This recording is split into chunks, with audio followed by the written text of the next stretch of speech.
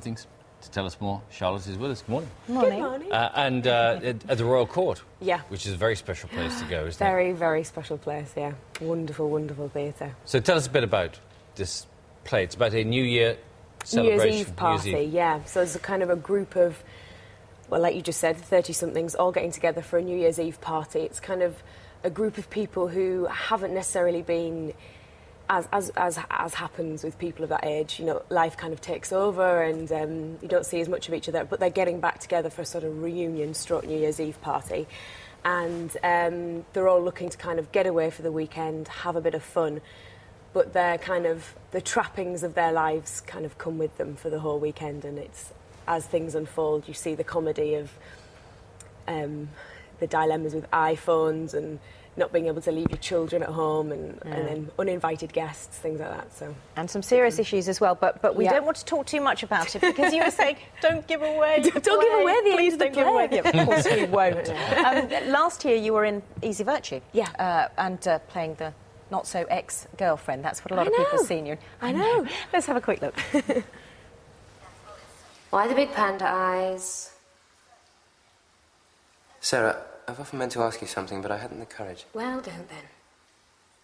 Did you think I behaved like a cad? Marrying Larita like that without telling you?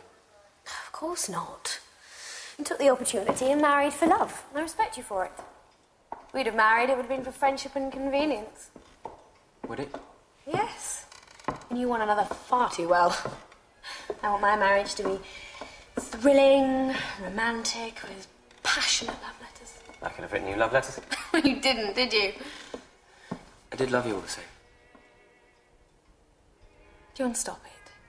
Oh, see, there you are, all refined and posh with that lovely hairdo. And then the last thing I saw you in was the take where you played a, a, a gangster's moll, Oh, in know, effect, in a very hard-hitting Yeah. series. That was, wasn't Yeah, it? it so was you, wonderful. you got quite a, a range. Yeah, I've been lucky. It's quite. Um, it's, it's really amazing to have the opportunity to do things like that, to be honest, and do things. Well, I love working with accents, as my friends and family know. I just love any opportunity to suck in a different accent, and that was one of the wonderful things about doing the take was having to learn an East End accent and. But you, it's interesting you've got these different accents because you, you did this, the, the Cockney of the take, you had your Yeah. posh there. But this is your natural This is my- accent, yeah. which is from where? I'm from Teesside. from Yeah. Teesside. Because you'd have thought, possibly, that you would adopt the sort of the up being an actress, the RP. Yeah. Wouldn't you? Receive pronunciation. Well, I think it's it's interesting. 'cause I think um, I remember having a chat when I was doing. I did a play called The Cherry Orchard down.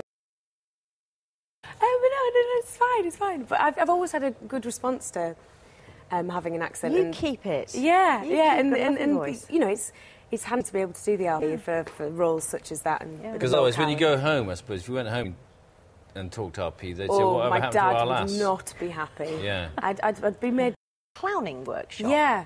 What- I did, what happened there? I, I, I went to university and did a degree, and then I had about two years between before I started um, doing um, training, um, drama training at, at LAMDA.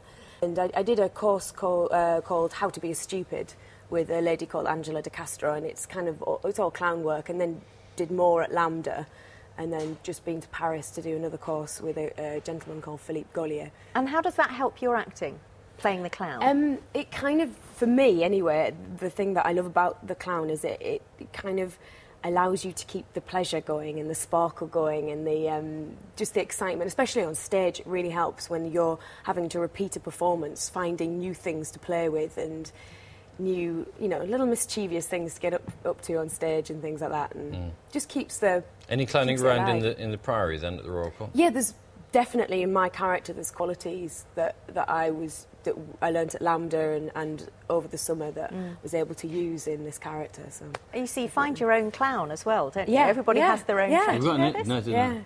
I've been told often enough I'm a clown, but not for the right reasons.